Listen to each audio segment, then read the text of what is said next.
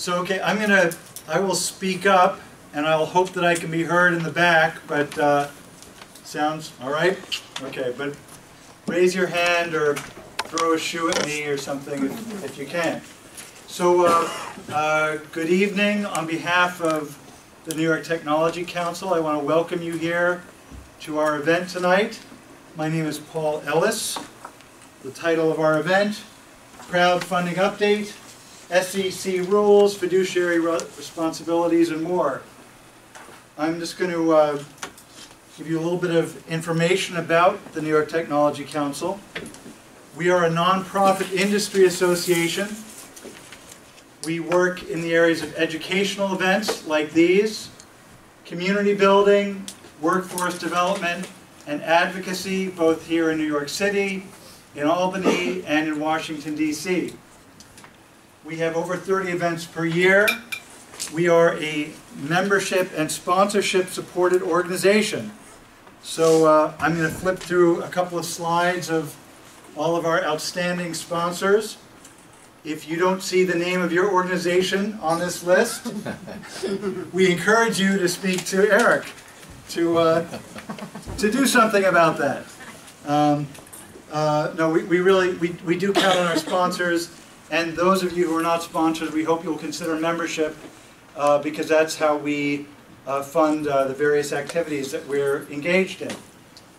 Uh, This evening, we want to give a special shout out to Withum Smith and Brown, uh, who is a, they are an annual sponsor, uh, but also our hosts in this great space this evening. We're very pleased to have them involved. And I think we have Ben from, Fair. Good evening, everybody. Thank you for uh, coming in today, coming through the rain and from uh, near and far. And we're uh, we're just happy that everyone's here, and we're especially uh, thankful for the New York Tech event to uh, consider us as a you know annual sponsor. We really like working with New York Tech. We have a great relationship. Uh, we're excited about learning more about tonight's tonight's topic. Thank you. very good. Yeah, th- Thanks again to Withum Smith and Brown, a lot of expertise in the tech- space, so we're very pleased to have them involved in the organization. So this evening, for those of you who are regulars, this, you'll know this is our legal track. And, uh, but for the rest of you, uh, the legal track is a series that we have within NYTECH that picks up legal issues of interest to the technology community generally. So we're speaking to founders, to entrepreneurs, to CEOs, to in-house counsel, to those various people that need to be aware of uh, the, the legal issues that we're going to be addressing. Uh, We've had events in the past on topics like updates in the patent law. Uh, We've had an event on preparing your company for an acquisition. We have our Legal Essentials series, which is a, a series of events of legal issues for startup companies. Uh, so we have a number of different, uh, different types of events that we have uh, over the years. If you would like to be on the mailing list that I keep for these events, at the end you can give me a business card or you can hand it to Eric and I will make sure that we get you on the list. Uh, I should point out that uh, although this is a legal event, uh, we are not here to give you legal advice. Neither the panelists or NYTECH or I am here to give you legal advice, um, uh, but it is uh, an, an educational event. Um, so this evening's presentation is, as you will know, a very timely one. Uh, just recently, the SEC came out with uh, the crowdfunding regulations that have been long awaited.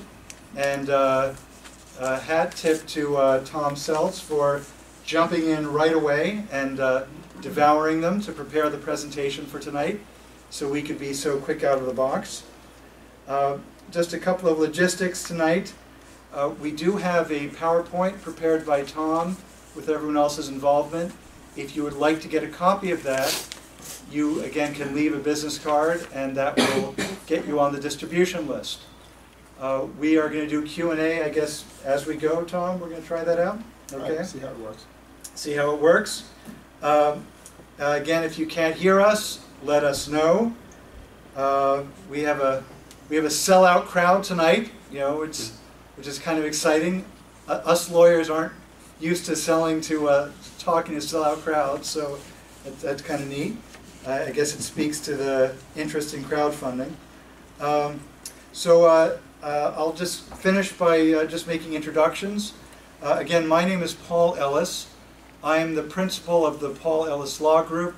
We are a six-lawyer boutique here in Midtown Manhattan that does a lot of work with small and mid-sized technology companies in areas including formation, financing, intellectual property protection, employee matters, licensing, and mergers and acquisitions.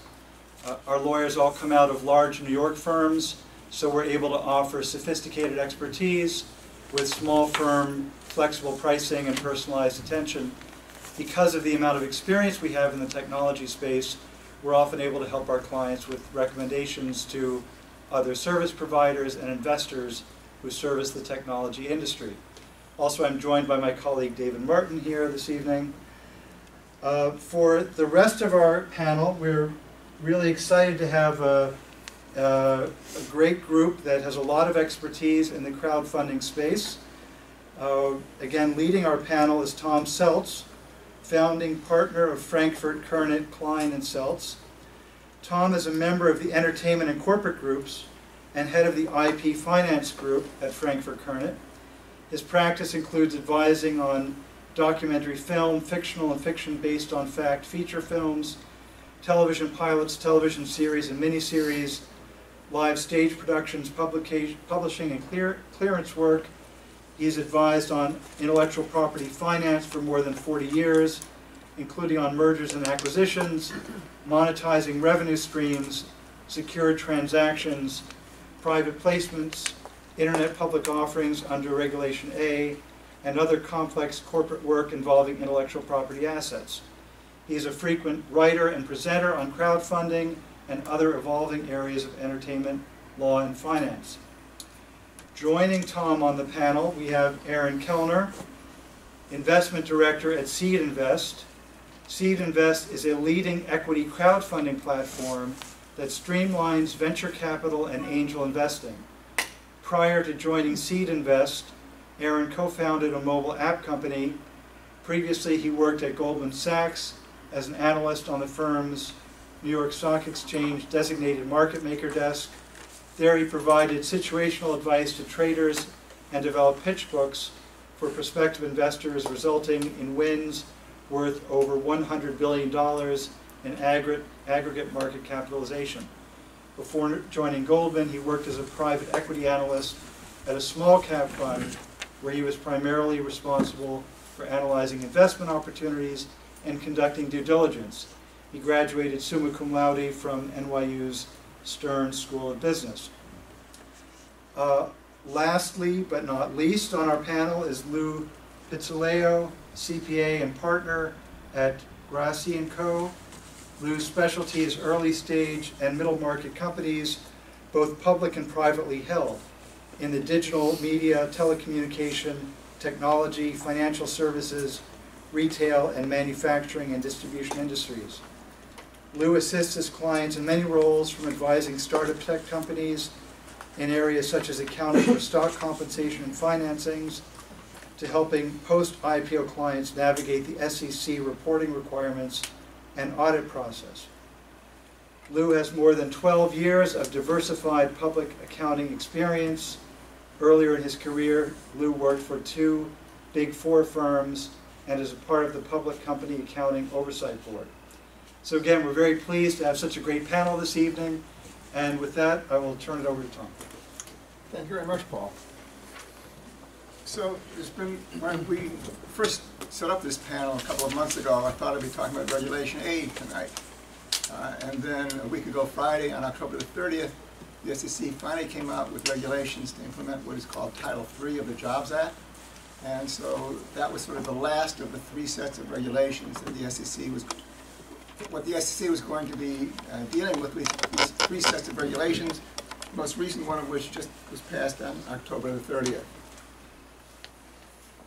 They called it regulation crowdfunding, as though the word crowdfunding isn't confusing enough. that crowdfunding actually encompasses a whole host of different activities, as many of you are aware, including the so-called donation model, which involves things like Kickstarter and Indiegogo, where people are not expecting to get their money back. That's been going on now for a number of years.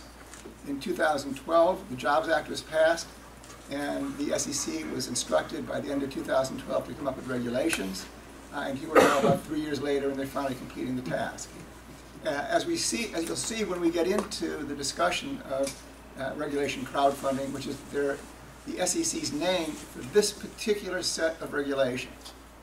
And we'll see it relates only to this particular set of regulations, having to do with up to a million dollars worth of capital that's being raised. There's also Regulation A, which we'll talk a little bit about at the end, where you can raise up to $50 million. And there's also a Title II, which we'll talk a little bit about, which was a, an amendment to what had been a private placement permitting the distribution of offering materials on the internet only to accredited investors. And so that's yet a third type of crowdfunding for equity. Uh, and when I say equity, it can be equity or debt. It is not limited to, to uh, an investment in just the securities of a company. It can also be investing in debt of a company. That's also considered a security. So uh, the crowdfunding regulations permit uh, raising capital either as debt or as equity, and regulation crowdfunding is up to a million dollars.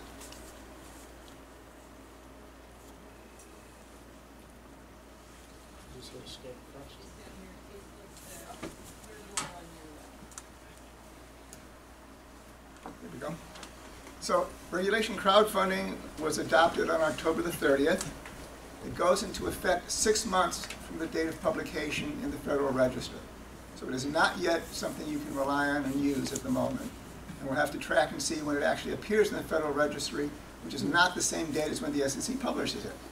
So sometime after the SEC has published the regulations, it will appear in the Federal Register, and then six months thereafter, it will go into effect and people can begin using it. This regulation crowdfunding has significant limits on issuers, investors, and platforms.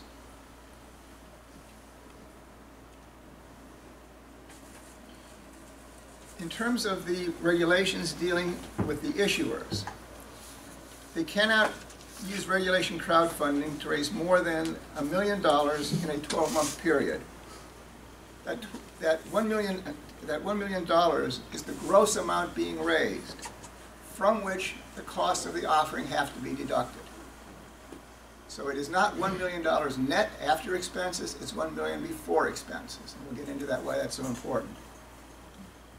If you're raising less than $100,000, you can use income tax return information certified by the chief executive officer. That income tax information for the company, and if it's an LLC, you start looking at the investors in the LLC, includes the gross income, adjusted net income, and the amount of taxes paid. Those are the three elements from your tax return that have to be included uh, when you're giving, when, when you're raising money of less than $100,000. If you're raising between $100,000 and $500,000, you're supposed to use reviewed financial statements. And if you're raising between 500,000 and a million, you have to use re- reviewed financial statements for the first year after the offering, unless you already have audited financial statements for another purpose. So if you have bank loans, you have to do audited financials, you have to use the audited financials that are available, even if, you, regardless of how much you're raising. So these breaks of 100,000 with tax return information, reviewed financial statements for 100 to 500,000. These are all if you don't have audited financial statements for any other reason. Assuming you don't have them for any other reason, and you're raising over $500,000, you can use reviewed financial statements in the first year. Thereafter, you have to use audited financial statements.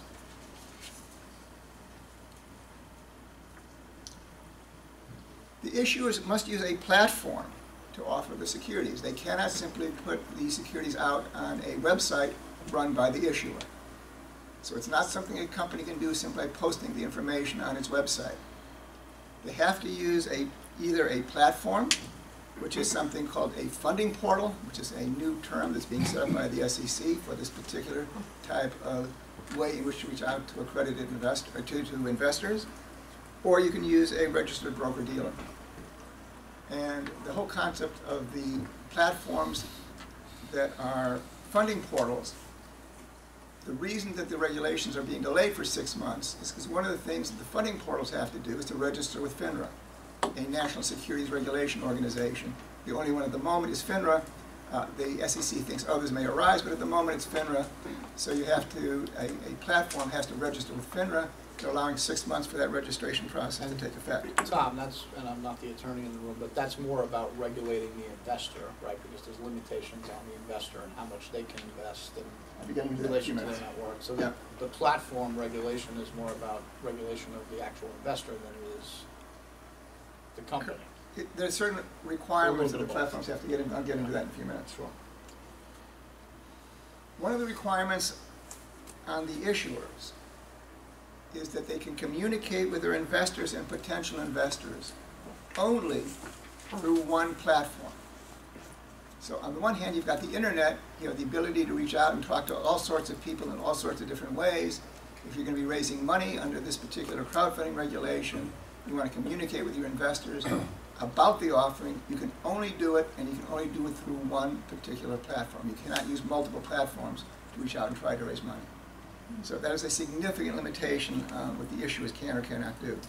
Tom, so can you, what's the implications of that for people's use of their website?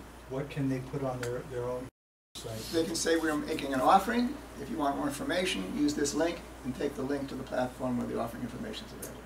But they cannot be engaged in it back and forth with the investors, talking about this is a great opportunity, here's what people are saying about it. All this communication among investors and potential investors about the offering has to take place on the platform which is hosting the offering. But there are no limitations on what else they can put on their website? No. As long as they're, It's, not- as long as it's not about the offering. If, if a material event occurs during the offering period, the issuer must revise the online platform, the online information materials.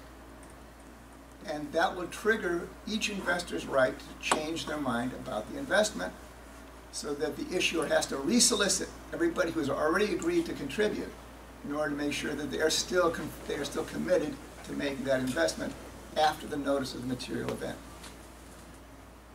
The investors have until 48 hours before the investment closes in order to rescind their offer. So in terms of knowing how much money you're raising and whether you're reaching your goal or not, there's a great deal of uncertainty until you get to 48 hours before the close. And if you're making any, you know, if you're a startup business and the things are revolving during the course of the offering period, every time there's a material event, you have to then refile and resolicit everybody and wait until 48 hours to see who's going to actually stay with you. Helen? Has the SEC given any guidance about what a material event is, or what would you consider a material event? Something important. can you repeat the question, please? Uh, yes, uh, has the SEC given any guidance about what a material event is? Something important. People ask the SEC to give guidance, and they just said, you'll know it when you see it. It's sort of like the Supreme Court prerogative. The issuer, first of all, the platforms cannot handle money, so an investor is going to make a commitment, send money in. It cannot even go to, cannot go to the issuer, it cannot go to the platform. It has to go to an intermediary third-party escrow agent to hold the money until the offering is ready to close. And there are certain requirements in terms of the keeping of the books and records of the issuer. That they have to be kept in a certain, uh, to a, to a certain high degree of uh, honesty and efficiency. And so they've created a safe harbor for the record keeping, which says that if you use a registered transfer agent, a transfer agent registered with the SEC, then you will have satisfied the obligation as an issuer in terms of your record keeping as to who the investors are in the transfer of, of shares. The transfer of shares is important because under each one of these different SEC crowdfunding regulations, the securities are immediately transferable. Under a private placement, the investors have to hold on to them for at least 12 months before they can transfer them to anybody else. Under the crowdfunding regulations, the holders of the securities can immediately transfer them upon the closing of the offering, assuming there's a market. There has to be a, a, a uh, buyer willing to take from the seller.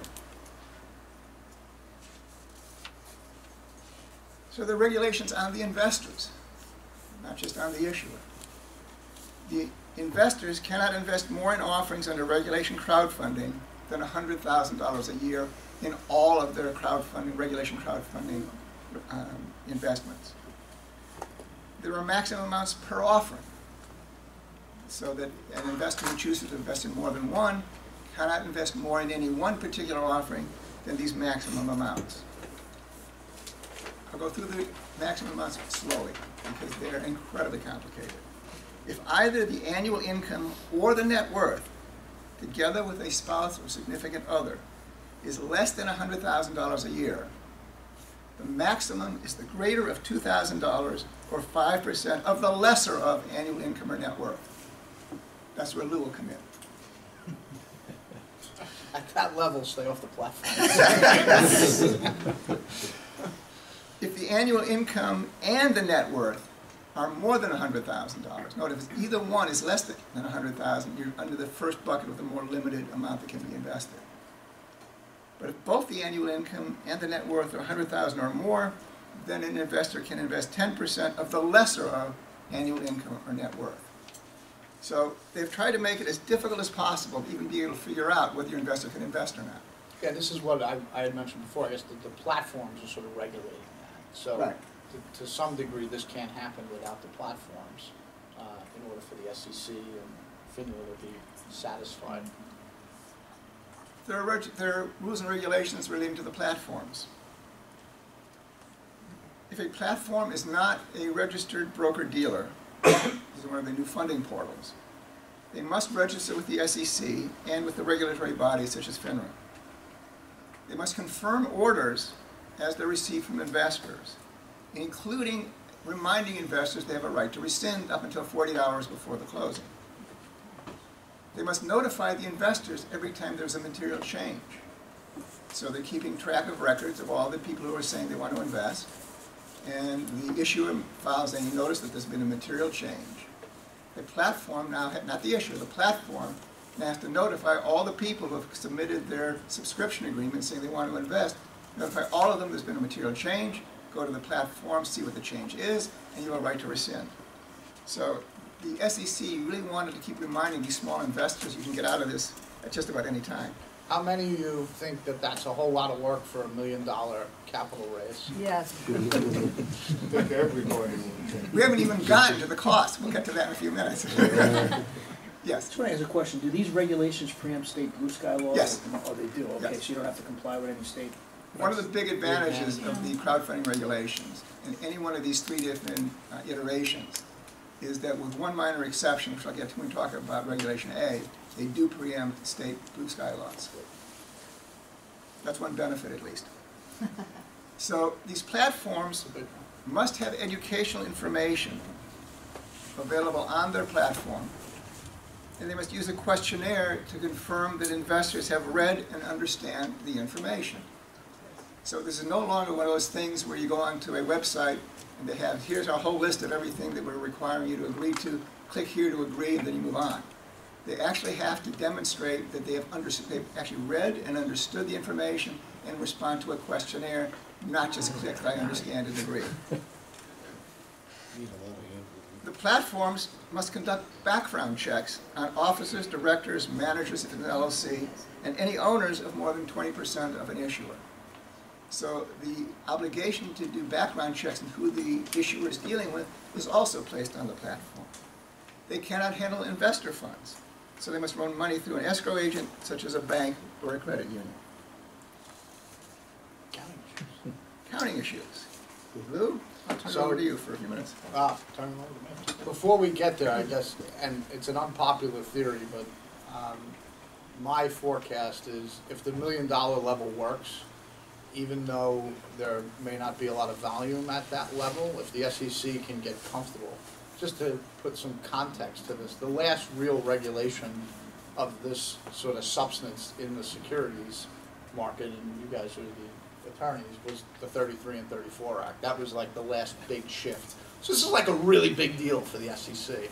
So my forecast is, should this work and nobody gets defrauded out of their two thousand dollars that they can invest if they make less than a hundred thousand, or, you know, grandma can make an investment and sell it, and it actually starts working, I believe that the level may rise to a point where it's actually worth you know, or becomes a little more palatable for a company, say if you raise it to five million, this may take the place of doing the A round or the B round, possibly for some companies in a position that are, especially in the consumer markets where there's a big affinity group for a company and they can go out to their customers or their affinity group and raise this kind of money. So that's my, that's my prediction. The, the problem with that would be that in order to do that, Congress would have to change the statute. Yes.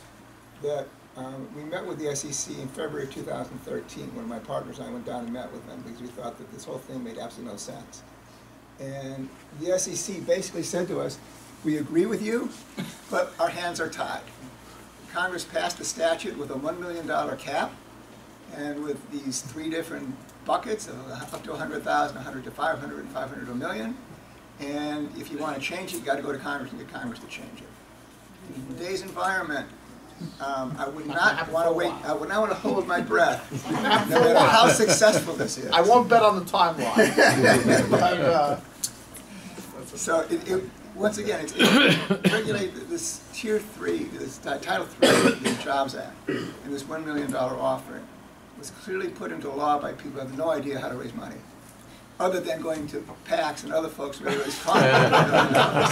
And there's no regulations on that. Before moving on to the accounting issues, just to give a little bit of a counter perspective from the platform, from the perspective of the platform, and obviously I'm coming at this from a little bit of a biased perspective, but as onerous as a, a lot of the nuances to the rules seem, the fact of the matter is, is that from a technology perspective, this is actually very simple logic to build into the back end of a platform. Uh, letting investors know of a material change is basically the equivalent of clicking a button. Uh, having automated emails sent out to everybody with a message saying, click here if you'd like to rescind, otherwise they're still in. The same is true when it comes to the remaining forty-eight hours. Uh, a lot of these aspects are things that are already built into our platform, so while we technically you know, uh, subscribe under the equity crowdfunding umbrella. Technically, crowdfunding is not legal. What we are, as it stands today, is an accredited investor funding portal. Uh, but we have been operating for three years. We have facilitated millions of dollars across hundreds of investments into dozens of companies. We don't hold money. We have to have everything go through an escrow agent. For investors to invest through our platform, they have to complete questionnaires to make sure that we are uh, that we're facilitating these investments in a regulatory compliant fashion, and we do operate as a broker dealer. So we're regulated by the SEC and FINRA. We have been reviewed by both bodies multiple times over the last few years, uh, and you know broker dealers are actually going to be are held to a higher standard from a regulatory and scrutiny perspective. Um, it's actually, in our opinion, really good that crowdfunding portals and the final rules were given discretion to uh, subjectively vet deal flow and prevent things from coming on, because that is going to help prevent um, a lot of uh, poor quality opportunities from being made available to investors. Um, but when it comes to the prospect of outright fraud, we don't really have to speculate terribly much. We are very, very much behind the eight ball when it comes to these types of regulations. This exists all over Europe, Australia, New Zealand. We're actually years behind. Uh, England has had real crowdfunding for four years at this point, uh, up till this, uh, and basically, I think the last statistic, which is relatively up to date, uh, has shown that 2,000 companies have raised 175 million pounds through crowdfunding with zero documented cases of fraud. People are going to lose money because these are risky investments, uh, but to have this fear uh, that it's going to be people fleecing, you know, unwitting investors who don't know what they're getting in, getting themselves into, has literally not borne itself out in any market where these laws have actually already gone into effect. Thank you. Very helpful from a practical perspective. Yeah, I mean, with, with all the regulations that have been, uh, in place. up when you speak. Yeah, I guess just, just commentary, with all the regulations that have been in place, you know, we had things like Bernie Madoff happen, and, um, so I always think it's comical that the SEC is trying to protect ourselves, us from ourselves, uh, in the investor world. Um, So, but, yeah, I mean, uh, this activity is already happening on many platforms, uh, in the accredited investor space, so the crowdfunding rules, I guess, expanded, put some more formality around it, and blow it out to the non-accredited folks as well. Um, the slides in there, um, uh, you know, accounting issues are abound, so, you know, think of the typical entrepreneur um, who wants to raise sub five hundred thousand and now has to put their tax returns on a, a platform of the business and or in an LLC or uh, S corp scenario, their personal tax returns. They- Uh, It's not, they don't have, they changed that in the final regulations. Okay. It's no longer, in the preliminary regulations or proposed regulations, they propose having to put your personal tax returns, uh, make it available as part of the offer materials if you're raising under a hundred thousand. They realized that that involved a lot of personal identification, personally identifiable information, was not a good idea. So they took the three elements, the gross income, the adjusted gross income, the amount of taxes, and said all you have to do is pull that out of the tax return and have it certified as accurate by the chief executive officer. Data points from your tax return Yes. instead of the tax return itself. Still, I, I think there's a, probably a sensitivity of, you know, an entrepreneur to give that type of information in, in some degree, so that's, Yeah. that's one barrier. Um, if you go, you know, greater than five hundred thousand into a million, um, you know, I, I've dealt with startups for quite some time, uh, and some, in many times when I get involved, they're further along the continuum than this type of raise. Um, and I will tell you in those instances, and my brethren from the other accounting firms in the room can probably attest to the same thing, the level of sophistication of the accounting records are um, not always what they need to be to either satisfy a venture capital firm an investment or an angel that wants to make an investment. So I suspect there's a, a, a certain level of work that will need to be done between, you know, where they are before the offering and where they need to be to submit some type of financial data to the platform, whatever that may be, whether it be reviewed, audited, or, um, or even just financial information for an offering document.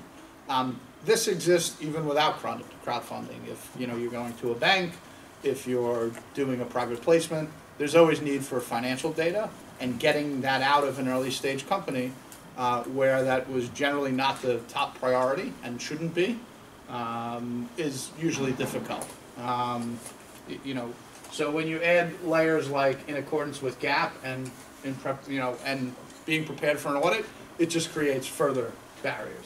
Is- Is Um, everybody here in the room familiar with what GAAP requires? I'm not. Maybe a few words about Sure, so. Versus the way it allows so startups to keep most- records. startups and early stage companies, sophisticated or not, cash is king. Uh, and if you're an entrepreneur, you're usually running your business that way, and that's the right way to keep doing it uh, in the early days. Um, later on, uh, when there's reporting requirements, GAAP becomes the financial language that the investors, the bankers, uh, want to communicate in. Um, you know, an example that I always use is I have a software client that sells licenses for software and had, all of them have a support and maintenance tail. And some of these contracts can be 10, 15 million dollars, and he believes when it's sold and it's invoiced, that hits his revenue. And I believe that too, however, GAAP doesn't believe that. GAAP believes that there's a continuing obligation over a future period of time, and the revenue will be spread accordingly. Um, I still, six years into this relationship, have the conversation uh, at least weekly with him. Um, they've done a $125 million leverage recap and now report to a private lender and a private equity firm monthly, more cumbersome than most public companies. Um, I help them with that, and we still have those conversations. But so GAAP is a it's a different uh, it, it's a different level of reporting. Um, requires the um, requires the input of a skilled accountant, um, generally with a few years of experience, and that adds cost, complexity, and time to the site. So Do you have any thoughts about steps that a startup should be taking, even if they're on cash, in order to have books and records, which then can be Yes. converted to GAAP? So one of the things that I always speak to early stage entrepreneurs about is record keeping.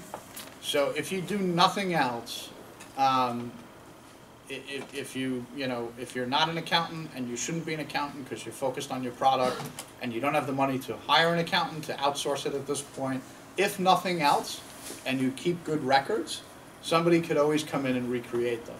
Um, and that goes for every function of your business. So many times I'll walk into a company even six months into their continuum, and they'll have, yeah, we, we gave equity to our developers in Russia. Well, was their paper? That has, has your, does your attorney know about it? Well, we had a handshake agreement. So it's very difficult to account for something if you, if there's no formalized paper. You know, who knows what the accounting is? So, you know, get your attorneys on board. If, if, the attorneys are obviously even more important than the accountants in the early days, because you'd have to paper that stuff both from a legal standpoint. The accounting is sort of after the fact. It could be on hold until you need it, but if the records are there, somebody can always go in and create the accounting behind it.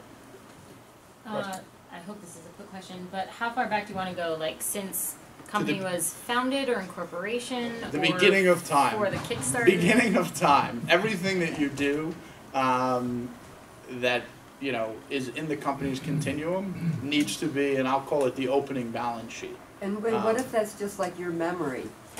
It makes it difficult. you know, it may be okay for a tax return or for just presenting financial information, but it's very difficult to audit if it's from memory. An audit requires somebody to go back to legal documents and invoices and checks, and if you can't do that because the records aren't there, it makes it very, very difficult, costly, cumbersome, time-consuming. So is it I- better just to, to forget about it unless you have documentation or to, to do it just as an exercise? You can always stop and restart as a new co. I've seen people do that and Right. sort of refresh. Um, that actually happens from a practical expedient. A lot of times you'll see somebody developing a technology over the course, it may take longer than they would like, and there's all this activity, and then all of a sudden that company ends and a new company starts and it becomes something different. So from a practical standpoint, I've seen that happen before. Um, that's a good solution to the problem. You best to just not have the problem at any point, but you know, I'm, I'm a practical person, so I've seen that happen.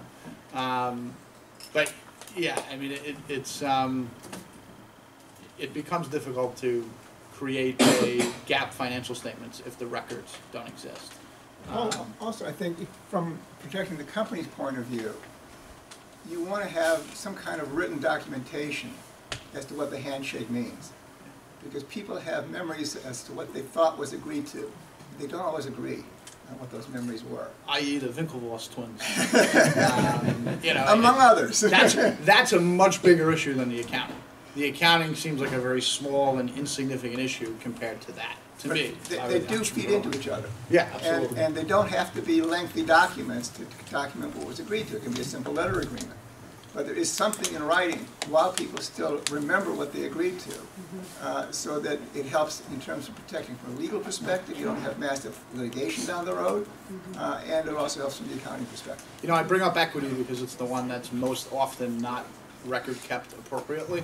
Um, but, you know, even just keeping the checkbook and keeping your old bank statements and just sort of, you know, filing tax returns.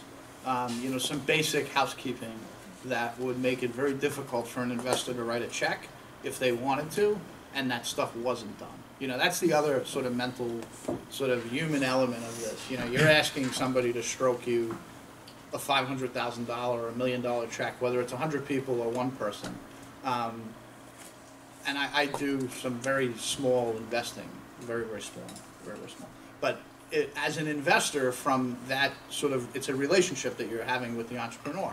If the entrepreneur hasn't done the good housekeeping in the easy parts of the business, there's a, there's a, I sort of make the jump that maybe there's other parts that they're missing too in the more important parts of the business. So there's that element of it too. So uh, housekeeping is important. Uh, it's boring, it's mundane. I hate to say that as an accountant because it's part of my role, but it's, it's a necessary, uh, it's one of the reasons our business is uh, recession proof because everybody needs to do it. Um, one of the other things that I wanted to bring up, and uh, Tom put this on here and I really hadn't thought about it, but um, so the platform, uh, the, the, the regulations change the independence rules for accountants. Um, so the, there's the AICPA standards that an audit or a test work can be done on. And then there's SEC guidelines and set of standards that an audit or test work can be done on. Correct me if I'm wrong, but under a crowdfunding raise or under a, um, an A or an A plus raise, there's the, the auditor or the testing accountant, whether it's a review or an audit, has to follow the SEC rules and regulations um, with respect to independence. those are much more black and white than the AICPA rules. So, um, in a scenario where, as an accountant, I may have been able to help the client create the books and records or assist in that matter to some degree, under the SEC rules, it's very black and white. I can't touch it. As an Um, auditor. as an auditor. So now that early stage company that's pre-revenue or has very little revenue or profit, now has to go and hire two accountants to do an offering. One to create the accounting records and the other to audit them. So this phenomenon has sort of played out in the public markets further down the chain. Uh, it's been a boom for middle market accounting firms uh, in the public markets. It's, I do a lot of that, we call it channel two services. Um, so a large public company has a, a large audit firm, does the audit, but they have questions and they need help with complex accounting memorandum and they need help with internal controls. And they can no longer go to their auditor because the independence rules are very black and white. Um, they call me or one of the other of my accounting brethren in the room.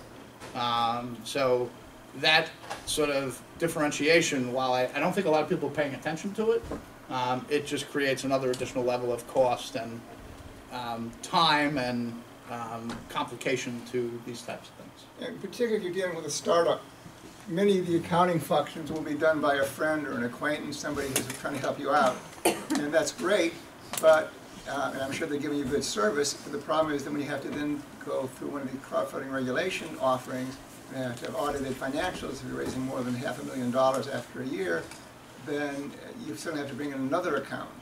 So it may not even be a bad idea as a startup to begin identifying another accountant whom you want to be doing the audit, so that the other accountant can at least be talking with your regular accountant and have some input to make sure, again, that the books and records are in no condition.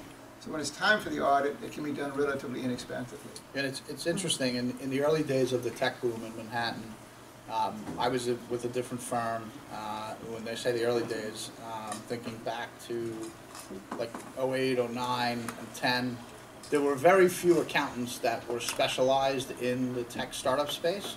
And there are some pretty common accounting issues in the tech startup space. The use of equity is one. Um, you know, how the software and, um, in the olden days, the website, um, costs are accounted for. There's some, the revenue rec is its own. So there's some very industry-specific accounting for tech broadly. And when you get into different subsegments of tech, it gets even more specific. Um, there are very, there's lots of bookkeepers, dime a dozen, accountants, the same. Um, there's very few that are um, experienced and specialized in this industry. There was very, very few in '09 and 10. There's a lot more now because, you know, as accountants, we read the market and we go where the work is. So, you know, five years later, you know, you can't pick them off the bus, but if you go to a group like this, um, the folks that are here are ingrained in the industry, they invest in the industry, they know the industry, um, and you're much more uh, well-positioned to deal with somebody that knows that industry specific um, than, you know, your brother's former roommate's girlfriend that also does accounting. What does the public accountant do in setting up the books that you don't do with Intuit, that anybody can't do? Um, so Intuit is a platform, just like QuickBooks or Right. um, any other accounting platform, and anybody can keep a checkbook, right? You write a check, it creates an expense, um, but when you issue equity, there's an accounting transaction that happens under GAAP. Nothing happens from a cash flow standpoint, right? You issued a share. Um, but if you issued that share to an employee, GAAP would say you have an expense. What's the value of that expense? So, uh, or in a revenue model scenario that we talked about uh, earlier, you know, you may have invoiced your customer, but it may not be revenue yet under GAAP. And a accountant that has experience in this industry is much more well-positioned to help you with those nuances than sort of your generalist, you know, my plumber's daughter's an accountant and she keeps the books for some So the- construction The daily company. books can be kept in the normal way, but these other transactions require special attention. Yes, so when you have to move from cash to GAAP, these special attention items are, you know, complex. Um, most accountants can get through it. or know somebody that can if they're not specialists in the industry. Um, but they need the record keeping in order to do that as well. The, the idea is to try to anticipate what the issues are going to be when you go from your friendly neighborhood accountant to having to do audited financials, to be able to anticipate what those issues are going to be, so that when the change happens, you can do it relatively smoothly. That you don't have to go back and spend the time and the money to recreate documents. Document, you can always come, go back and start over again, or close down one company and deal setting up a new company, but that has its own issues around it. So the idea is to try as much as you can to anticipate what you might have to do in the future, so that as you're moving along, not that you're incurring those costs today, but that you can minimize the incremental costs when you're ready to make that move. It's interesting. I, I always try to um, talk a lot about the value of the industry expertise with prospects and people just in the ecosystem. And one of the analogies I use is if you were going to sell your million dollar house in Southampton, or not, probably 20 million is a better uh, example, you wouldn't use a real estate agent that has no experience in that area. You want somebody that knows the market, knows the area, knows where the buyers are, can bring out a crowd. Um, and I, I, you know, I, I don't like to make the analogy to real estate agents because, I don't know, I think, no, no offense to real estate agents, but accountants seem further up the respect chain, just below lawyers sometimes. so, um, but, um, you know, a, a good accountant engaged in this industry can help you with more than just the accounting. The, our goal is really to become an advisor that could take you through this type of transaction and help you derive the most value from that transaction and prepare you for what it's like after the fact. Because once you have investors, there's a level of um, oversight that wasn't there before. Um, and the accountant will become even more helpful in that regard in helping you manage those investors, as well as the platform. Um, so that's, you know, they're, they're for, for whatever reason it is, it seems heightened even more in tech. And maybe that's because there's some specialized areas in accounting, and tech follows a specific trajectory when it comes to growth and capital raising. Uh, there's some commonality amongst most technology companies in that sense. So I think that's why it's maybe even exacerbated more from the standpoint of an industry specialist. Um, Along the same lines of trying to anticipate things that might be an issue, uh, I want just to talk, or have Lou talk for a moment about one of the requirements now of these new regulations, that a, uh, an audit usually comes with a report from the accountant who's doing the audit. And one of the things the SEC has said is that they will not accept qualified audit reports. And the qualification, you know, what's the difference between a qualified audit report and a clean audit report? Because if you're aware of the difference between what's a clean and a not clean, or a qualified audit report, it's something you can again try to do to anticipate and try to avoid the problems that can lead to a qualified audit report, which will not be accepted by the SEC. So when, when Tom brought this up, I mentioned in my 15-year career, I had never issued a qualified audit report. Um, because generally your client would kick you out because it's of no use. The SEC won't accept it, the lender won't accept it. There are certain cases, um, for instance, record keeping. You know, if, if, if for, for the reasons of record keeping, you couldn't get comfortable with an opening balance sheet, um, you might qualify your opinion on the operating statement. Um, so the guidelines are very clear that that wouldn't satisfy the rules here. Um, so again, it's important to sort of set up um, in advance of going into this type of issue or, or this type of capital raise scenario to set up and be prepared for it. Um, you know, it, it's not just an issue in this type of raise, it's an issue going into, you know, I, I've been on the sell side of many M and A transactions, um, where there's a sale to either a private or a public company. Um, and I've seen where, uh, you know, either accounting can make a deal go off the rails or make it take longer or make, you know, make a lot of people nervous. Um, where, you know, where the owners, the former owners, you know, anticipate a hundred million dollar check and they want to close the deal as fast as possible, um, delays because, you know, revenue recognition accounting wasn't done correct and the new company wants to know what it looks like when it's correct, can sideline a deal and you just, you know, you don't want to do that, so. So, what are some of the drawbacks to regulation crowdfunding. There's more, yeah. We've referred to it in general, now we're gonna drill down into what I'm glad you all brought your umbrellas. I want to talk a little bit about the cost, because I referred to it up front when I said that the million dollars is not after you've paid the cost of the offering. It's before you pay for the cost of the offering. So when you're looking to raise a million dollars, you can't think you're going to end up with a million dollars to spend on your project or your company. You have to use an offering memorandum with mandated information, which is similar to what's used in a private placement. So there's some legal costs associated with it. You must use a registered broker-dealer or a funding portal and you can use as part of the compensation, the securities of the same class and nature as what are being offered to the public. So that's one way you can compensate these folks, which may not come out of the million dollars that you raise. You must use a bank or a credit union as an escrow agent under a written escrow agreement. So there's a cost associated with that. You must use a public accountant if you're doing the audited financials. There's a cost with that, and as we just talked about, that cost would be in addition to whatever the accounting costs were that you were paying just in the ordinary course of running your business background checks by the platforms, which will be passed along to the issuers. There's the cost of the educational materials and tests, which the platforms will have to do. Uh, As Aaron mentioned, they already have doing that with respect to the, uh, what's called the Title II or the 406C offering to accredited investors. So that may not be a cost which they pass along, or it may be new tests you have to come up with in order to deal with the less sophisticated investors rather than the accredited investors you were dealing with under the uh, 506C. There's the cost of the FINRA audit. FINRA will be auditing, as, as Aaron mentioned, he's been audited by FINRA. Those are costs which in some way have to be passed along to the issuers.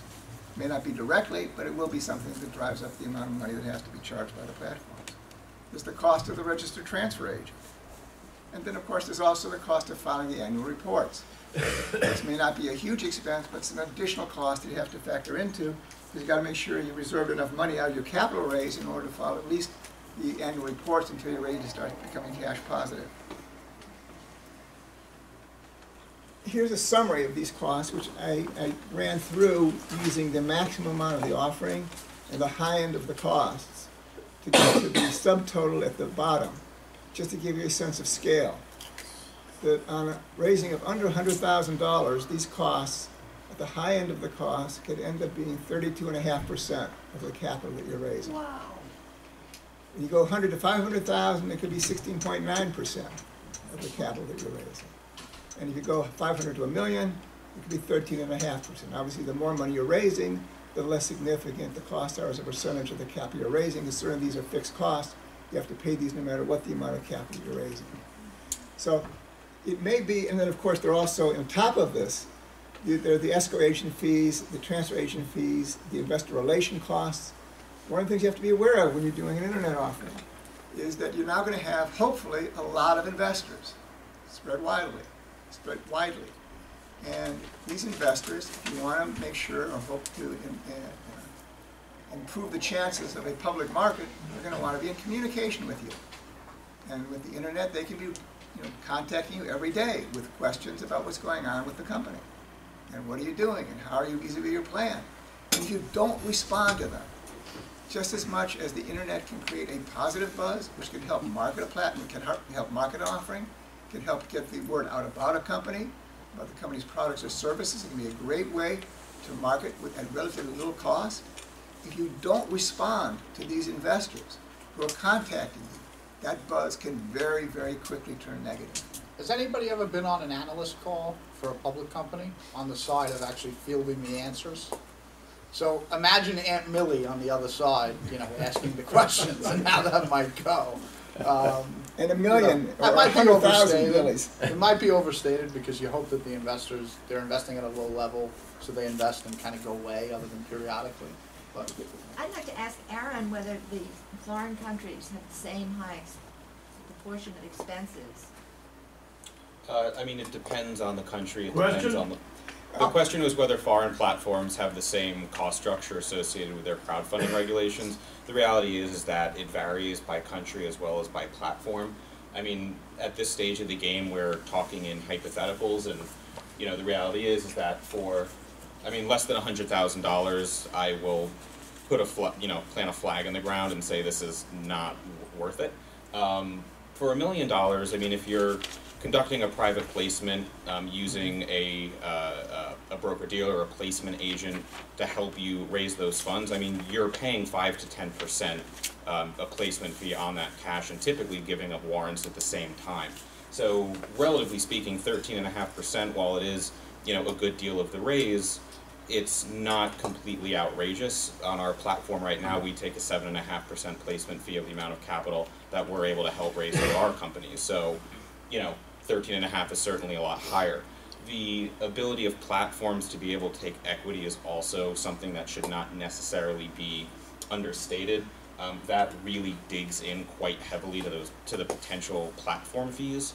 And while I would not recommend it from a working capital perspective, I do not I, I would not be surprised if there are platforms that essentially say, pay us all in stock and we will pay for everything else. So there you're not gonna pay cash out of your funding.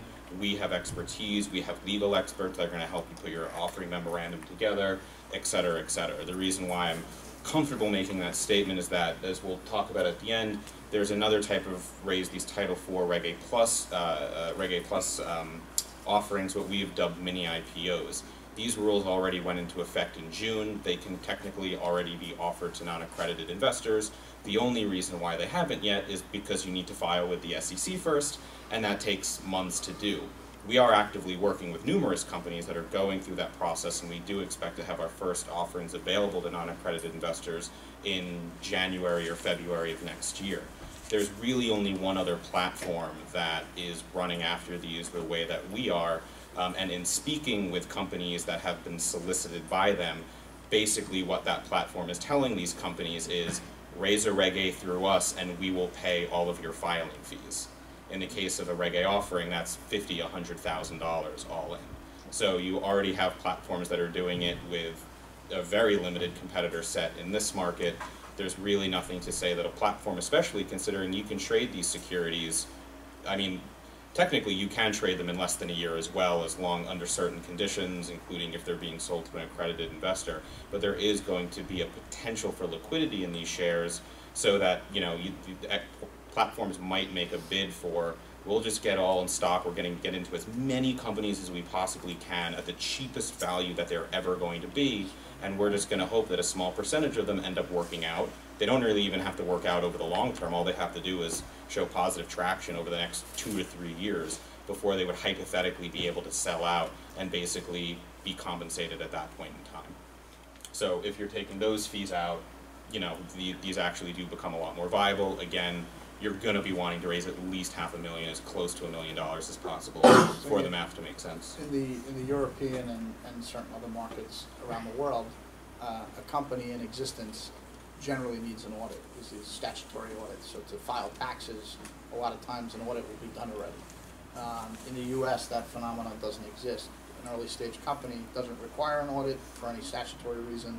Um, usually the first audit is done when there's some capital in that requires an audit. So that cost, that's sort of an additional cost for a company raising capital in the US may already be absorbed uh, in, you know, for instance, uh, in the UK, a company in existence has a statutory audit because the, the taxing authorities require it already.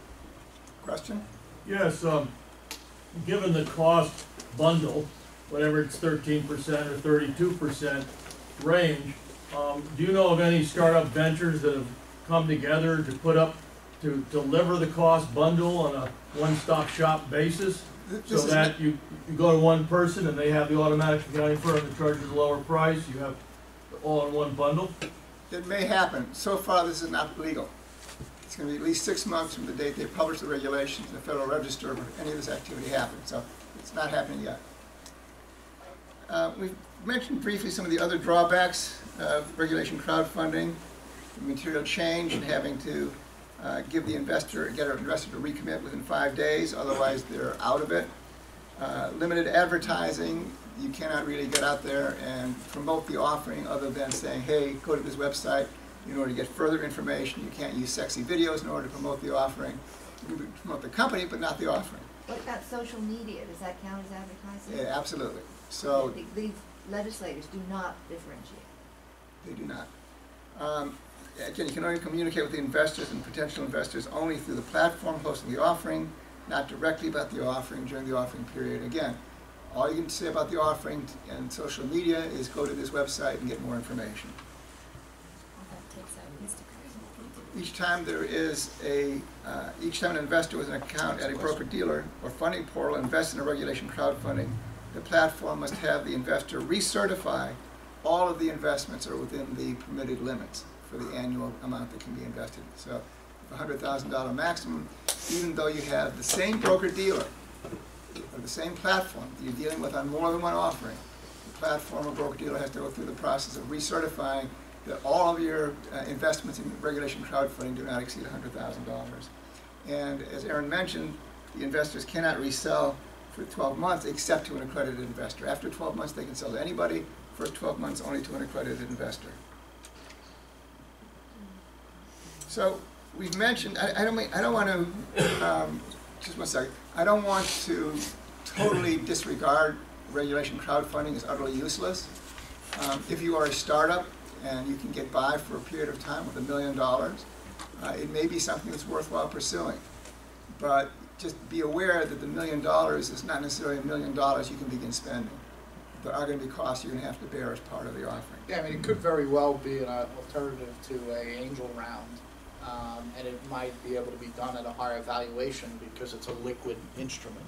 So it's really yet to be seen as the market develops.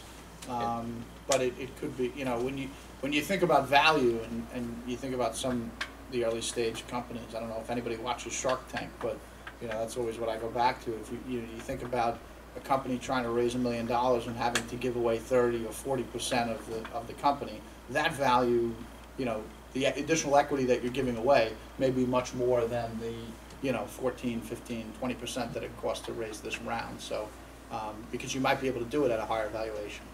You got a question? I have two questions. So you said before that the, the shares were transferable under, under this crowdfunding regulation, but it looks like it's not unless it's to an accredited investor. Correct. Is the transfer agent issuing those shares with a restrictive legend or not, or are they qualifying? What are they doing exactly? So I'm trying to figure out the quagmire advising my clients and seeing a nightmare unfolding, because the, the aftermarket transaction would, would restrict an aftermarket trans, uh, sale of the shares to anyone who isn't an accredited investor. Is that reflected on the certificate? It, it's not in effect yet. Okay. It should be, but the thing that's interesting, if you sell to an accredited investor, can they resell to a non-accredited investor? Right, and it sounds like you can't. You can't. For So twelve months, it's just your standard, like, a- it would, like a five oh six exemption would exist, or a five oh five, or five, there's like no difference, other than the accredited investor exception here that you can sell to. The second question is, there are two things, one thing that doesn't make sense, I'm already trying to figure out how I'm gonna t- to talk to my clients about this. Because on the one hand, you can only communicate about the offering through your funding portal or through your platform, correct, or through your registered broker dealer. But you also said that if potential investors contact you, you have to respond, and if you don't, it creates negative buzz. Are you fulfilling your obligation as an issuer by simply saying, go to the platform and get those answers there? I mean, because it sounds like people, investors would ask about the company in addition to whatever's in the offering materials, because they want to make an informed decision on investment. How do you even address that? How do you f- comply with your obligation without getting sued? I Without I- being found, It was, it's actually a little bit of an apples to orange in that the example he gave about uh, creating negative buzz was more for ongoing investor reporting, not in terms of communicating with investors about the issue. I, I don't disagree, I hear you, I, but I still think that investors are gonna approach the company to hear it from the horse's mouth. Tell us what you're about, what does this mean? I don't care what it says on this website, at this register, I wanna know specifically. How Yeah. do you, I mean, you, re- uh, being really curt about is you redirect them to the platform if they're that up about it. Do you really want that type of person as an investor to begin with? Probably not. Uh, and it's not necessarily uncommon even in, the, you know, kind of today's regulatory framework, or at least the regime that we're operating under, for companies to basically, you know, an, an investor can communicate with a, an issuer, find them on the platform, or find them on their own website, go directly, and they'll kind of say, oh, just go back to SeedInvest, go to our profile page. We have a data room that you can access to answer your own question, blah, blah, blah, blah, blah. So, you know, it's not necess- you know, you, you have to say things nicely, uh, but at the end of the day, you know, issuers also do need to discern whose money they're taking, uh, and you don't necessarily have to take money, you know, from anybody that offers it to you. And one question about the platform, do you now have an obligation legally to make a determination as to the materiality of event that would cause a change in the offering materials the way an issuer does? Is it a dual obligation? So we actually already do, since we operate as a broker-dealer, I've facilitated numerous raises where material changes to the terms of the offering occurred, where we had to go back, or I had to go back to each individual investor and basically see whether or not they wanted to proceed uh, with the offering. Uh, Ninety-five percent of the time, they do. Uh, so typically, if someone is, you know, excited about making an investment in the early stage space, they, you know, just want to do it. Um, so it, you know, there is going to be, you know, it, it is going to be. conflict with an issuer though, who might not think it's a material event that would be material to an investor looking to invest? or- Yeah, so I mean, the reality is, is, you know, for, for us, you know, we operate in kind of what has historically been like the, the Wild West in terms of capital formation. Uh, it, with almost every company we work with, we are the adult in the room. We tell them what they can do, what they can't do, and why. Um, but, uh, you know, typically, at least, you know, we're very, very discerning in terms of the companies we work with. Um, we've been operating for three years. Over that time, we've had close to 5,000 companies apply to raise money through our platform. Only 1% of them have actually made it through our diligence process and have been allowed to do so. Um, so when we are working with companies, we are working with ones that are a bit more mature, understand, they've already, you know, have fundraising traction and, you know, they kind of get it. Um, and that's actually, from our perspective, while there's a, a selfish way to look at it, because we did go through the pain of creating our own broker-dealer in anticipation of Reg A and, uh, and Reg CF, um, the fact that in the final rules, crowd uh, funding portals are also given uh, the, uh, the, the, uh, the rope, if you will, to uh, kind of subjectively vet opportunities and prevent specific companies from listing on the platform if they have a belief that it's potentially fraudulent, a low quality opportunity, et cetera, et cetera, that that action in and of itself is going to help uh, kind of across the board make sure that there's at least some base level of quality of what is being offered. And it's actually um, compounded by the fact that uh, uh, the one thing that the SEC didn't really address, which we were hoping to, again for selfish reasons, is platform liability. Platforms are going to be liable for the statements and, and, and claims made by the issuers raising on their platform. While this is something that we you know, see as kind of a, a long tail, if you will, risk associated with the space. We don't think it's anything that's going to keep people from entering it. It's not keeping us from entering it, but it's just going to be kind of an added consideration for those who at least have their head on straight to make sure that the that the diligence and the vetting that they're doing on those companies is done appropriately. I mean, for us, we're not just looking at the company, uh, what they do, stage of development, traction, management team, competitive landscape, digging through historicals, projections, um, looking at things in the context of the raise. We employ uh, third-party legal and confirmatory due diligence provider to do background checks, bad actor questionnaires, share authorizations, you know, kind of all of that good stuff.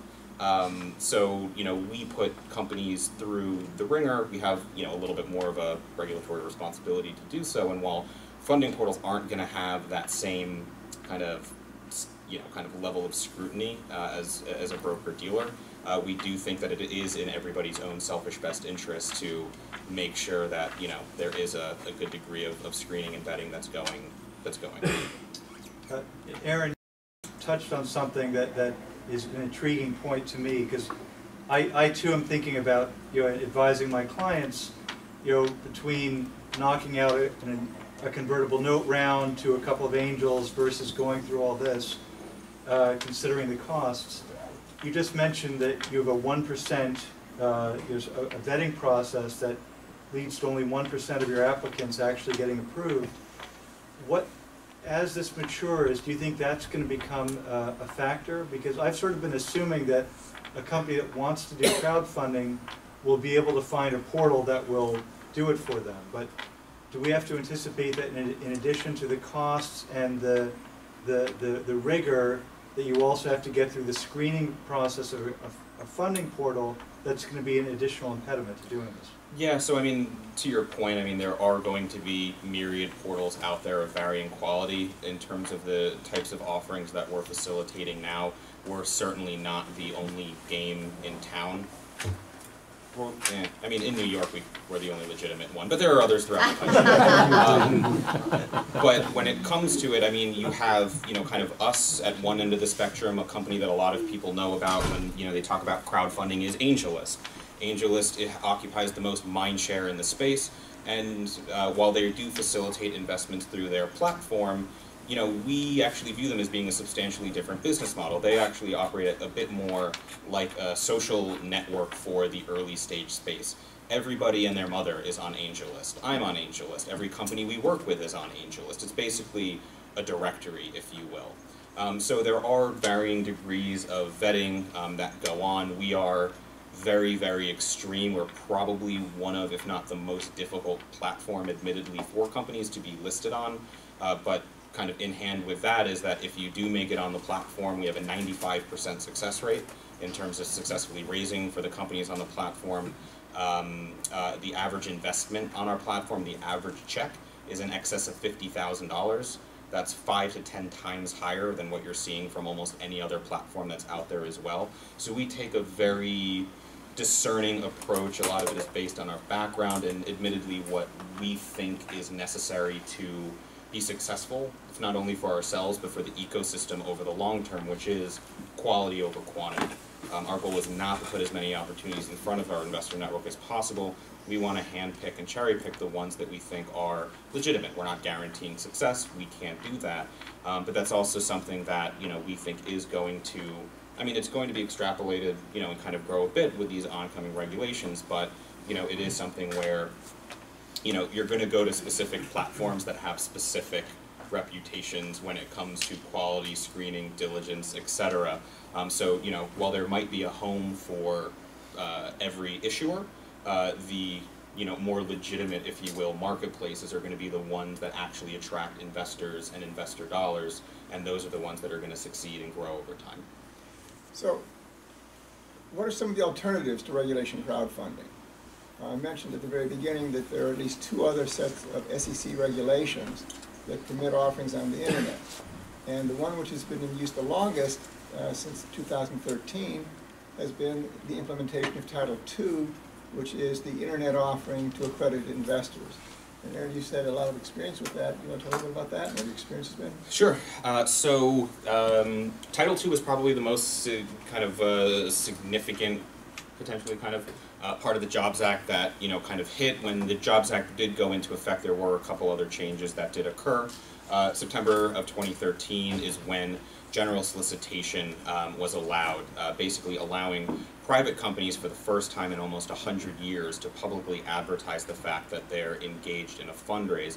And it essentially created two tracks. These are both uh, uh, these the, both of uh, a, either a traditional private placement or a general solicitation enabled investment are both conducted under 506.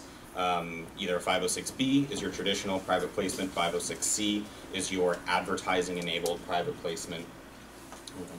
Uh, and you know, in reality, it, you know, companies have two paths to choose from, if you will. You can either abide by the traditional fundraising rules, approach individuals or entities with whom you have a pre-existing relationship, and from whom, if they invest, you only need them to self-certify that they're accredited, check a box on a piece of paper, that's the burden of proof placed on the company. If you want to generally solicit, uh, you can literally advertise to whoever you want in whatever medium you want, uh, but can still only accept investments from accredited investors and need to take reasonable steps to verify their accreditation status. So this is anything from looking at tax returns, uh, bank statements, credit reports, or getting a, a, letter from a lawyer, CPA, RIA, uh, or uh, Angel Group attesting to your accreditation status. Um, SeedInvest had an SEC compliant accreditation verification system the day after these laws went into effect. I myself have probably written a couple hundred accreditation verification letters. Uh, people do this through our platform, so while it seems onerous, uh, there's actually never been an investor who has backed out of an investment because they had to go through uh, this process. And what this enables, uh, and what crowdfunding is going to take to the extreme, is companies uh, leveraging early adopters, their customers, uh, to you know become investors. We have multiple companies on our platform. Literally, have a letter from the CEO out to their their customers saying, you know, hey, you know, you like us, you know, we know that because you pay us. Uh, we couldn't be where we are if it wasn't for you. What I wanted, what I'm doing now is inviting you to, you know, to, to join in this growth and be part of this opportunity.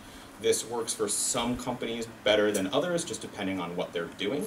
Um, but as a, a concrete example of a, a company that was uh, on our platform uh, literally uh, up until two days ago uh, when they were delisted and successfully raised, it's a, an on-demand uh, parking company uh, based here in New York.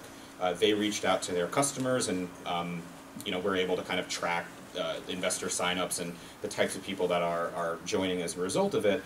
And not necessarily surprising, their customers primarily comprise uh, 20 to 40 year old people that work in finance, law, and accounting in New York.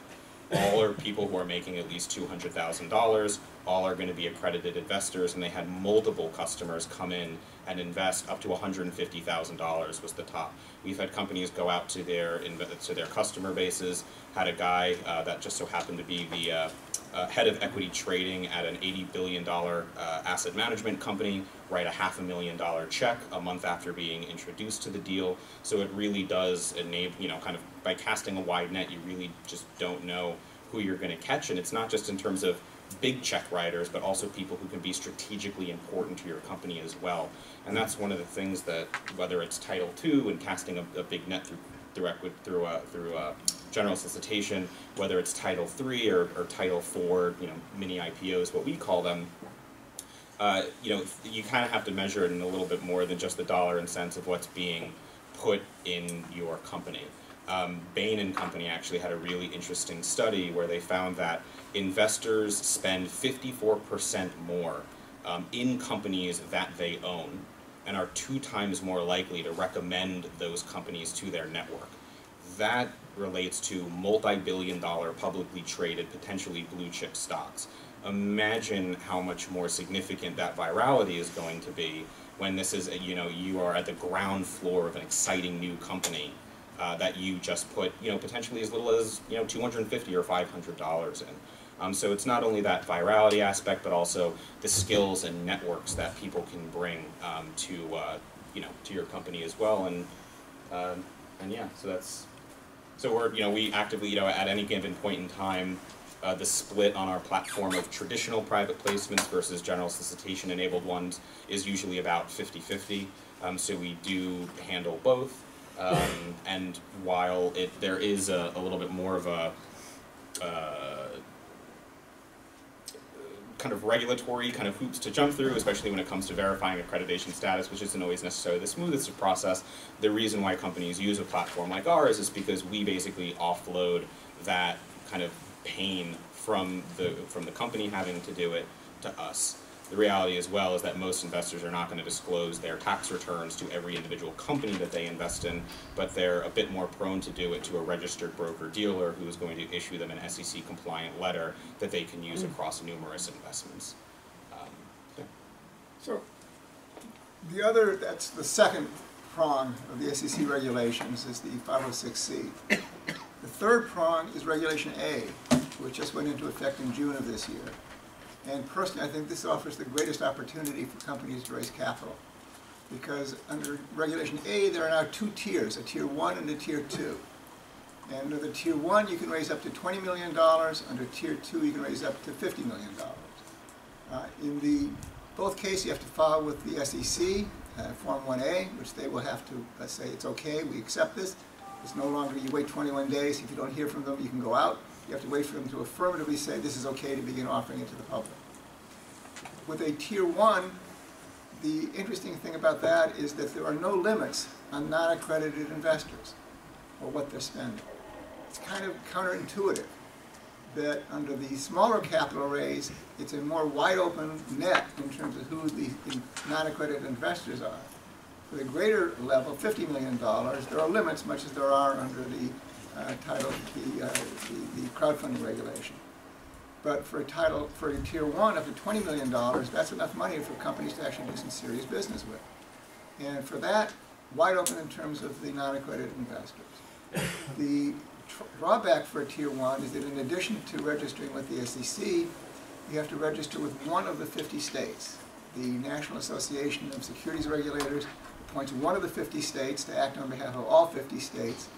Um, this is brand new, so we're not sure what this is going to actually involve. Uh, we have a client who's going through the process now. We'll know more probably in a couple of months. I find it hard to believe that a state is gonna have a lot to say about something which the SEC has signed off on, but we'll see. Uh, But it is something you have to go through. The other interesting thing about tier one is that although you don't have to file with all fifty states, all fifty states can require that you file the offering with them and pay their filing fee. and usually, how much is the filing fee? Well, that's I was going to say. If you're doing a fifty million dollar offering, there are five states that don't have a cap on the amount of the filing fee. Most of them, all of them, in fact, a percentage of the capital that you're raising. Mm-hmm. Most of them have a cap, so that for 45 of the 50 states, it's a couple thousand dollars. If you throw the other five in, it can be as much as $60,500. So if you're doing one of these offerings, you probably will want to put a notice up that if you're a resident of such such a state, we will not be accepting your subscription unless we have enough offerings from your state. So uh, it'll be interesting to see what happens, but I do think Reg A, where you can raise twenty to fifty million dollars, could become very significant in terms of internet capital raising as we move into a new world where people can use the internet to raise out and raise capital. Any questions? Yeah, what's interesting is in the mid and late nineties, we saw a lot of sub hundred million dollar IPOs, and then that went away. This, uh, I think, Reg A plus, right, is that what we refer to it? To me, it's an opportunity to, uh, kind of create that market again. Uh, You know, there's now a, um, there's now an infrastructure where that can happen, and I, I think the fees and the compliance sort of match up to the raise in, in that market space where they've been out of balance previously.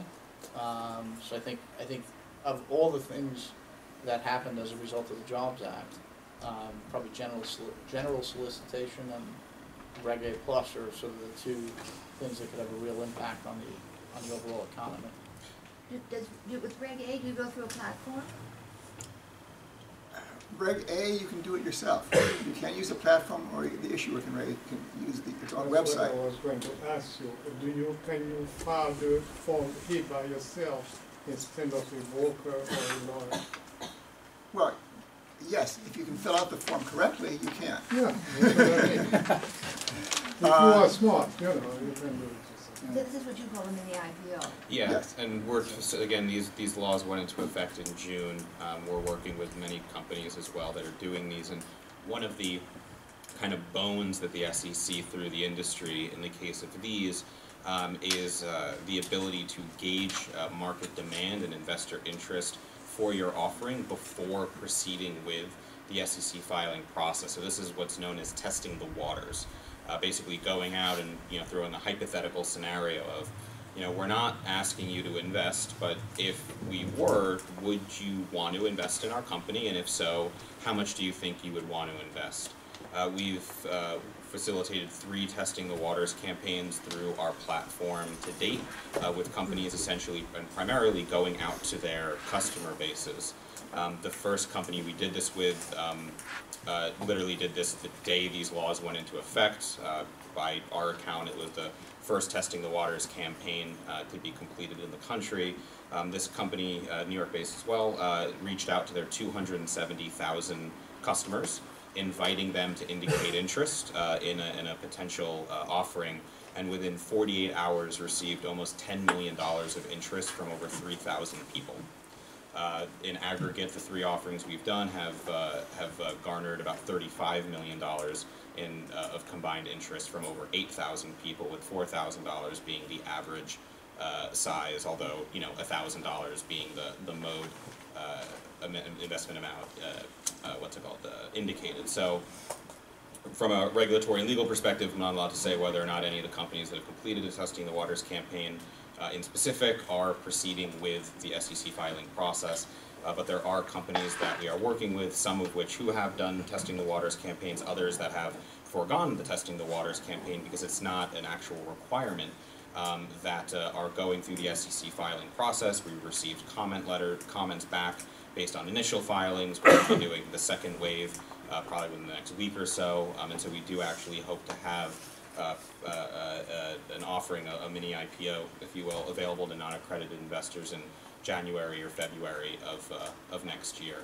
Um, you know, and from our perspective again, or my perspective again, completely biased, but you know, when we were early supporters of the Jobs Act, we worked hand in hand with the two guys who created um, and conceived of the regulatory framework. They're investors in our company as well as advisors.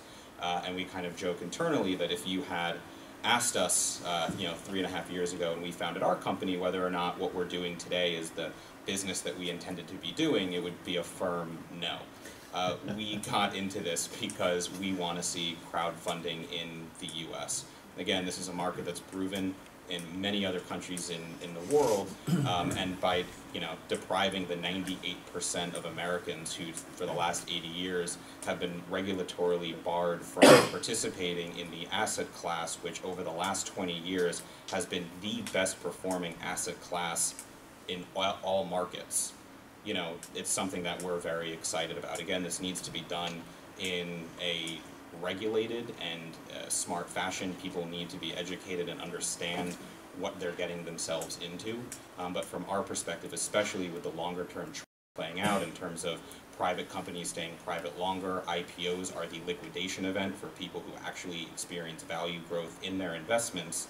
Uh, by you know, kind of using fear mongering, if you will, um, to keep you know ordinary people from actually being able to invest in the most promising companies that our country has to offer is a little bit you know kind of hypocritical.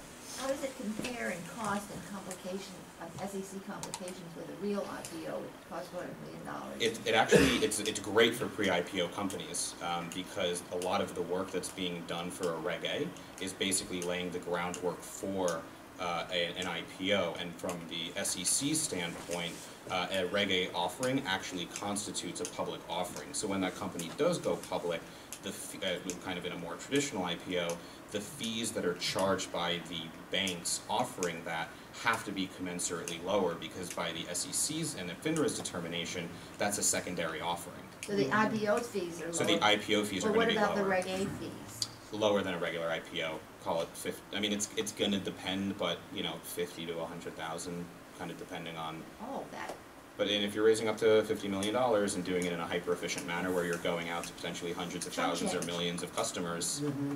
I mean, it's like imagine if Airbnb four or five years ago went out to every person who had ever either rented, you know, a room through Airbnb or had hosted somebody and said, hey, for five hundred dollars you can own a piece of this company.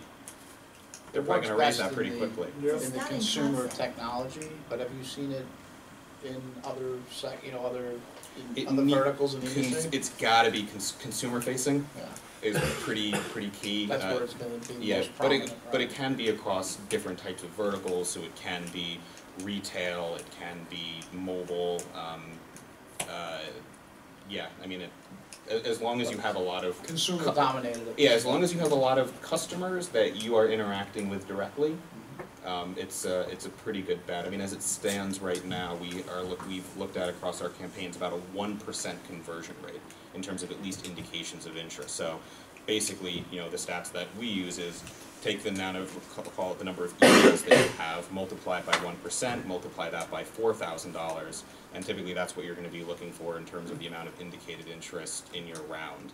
Um, these can also be promoted through different channels. If you wanted to do it through Facebook, targeted Twitter advertising, LinkedIn, what have you, you can do that as well. Um, ex- uh, but the early data points have shown that you know kind of direct email outreach has the, the highest conversion uh, rates thus far. You mean to customers? Yes. Yeah, the uh, Reg A, the tier one, you do not need audited financials, which sounds good. Tier two, you do need audited financials. Um, There are regular quarterly filing, uh, I'm sorry, semi-annual filings with Reg A, tier one, tier two. Um, The value of a tier two offering with audited financials and at least twice, twice a year filing reports with the SEC is that information is out to the public, so it helps support a secondary market.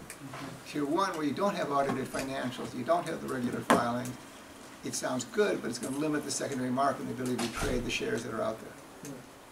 Uh, as Paul said at the beginning, there's a lot of information here that's been given to you in a very short period of time. If you'd like a copy of the PowerPoint, contact either me or Paul, we'll be glad to send it to you. Question? Uh, question to Aaron. What are the common denominators you're seeing of the companies that don't make the cut in your platform? Um, for us, it the common denominator. Oftentimes, it's a company that's a little bit too early for us. um, or something that we don't think is necessarily gonna resonate with our investor network. Um, a kind of a core theme across crowdfunding more generally, and it's, you know, uh, kind of just a, a result of the fact that investors are ADD, and especially when you're talking about angel investors, this is not their profession. This is something they're doing on the side. So if you don't have something that grabs attention, demonstrates a value proposition within a couple sentences, you've lost people. So it needs to be something that is also something that's kind of very easily understand understandable as well. Um, and then I would say, uh, what else? Um, the early stage market has been kind of hot over the last two to three years. A lot of money has been coming into it from a variety of channels um, that are a little bit non-traditional uh, as such that has kind of inflated the valuations as uh, things are, are wont to do in those scenarios. Uh, for us, um, the valuation of companies raising on our platform is actually one of the key determinants of whether or not we work with them, whether or not the underlying fundamentals of the business support that valuation, regardless of if that company has received investments from others. If we don't think that it's justified, we're not gonna put that because one of the nuances of, of operating as a broker dealer is that we are issuing investment recommendations for any company that's listed on our platform. So if we can't actually recommend that investment, it would quite literally be illegal for us to uh, have it offered on, on SeedInvest. Thank you all for coming tonight. Thank you. That was a-